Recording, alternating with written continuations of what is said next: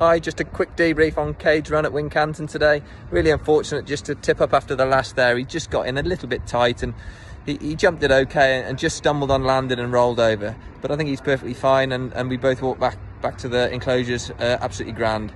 Um, it was very deep holding ground out there today, um, which probably didn't suit him. I, I, think he was just sitting behind the bride a little bit, and he just took a bit of cajoling along, just a just a bit of encouragement to, to go forward. Um, I think he'd be a lot a lot different on better ground and you'll, you'll probably see him travel a lot better. Um, but on the whole, he, he jumped well.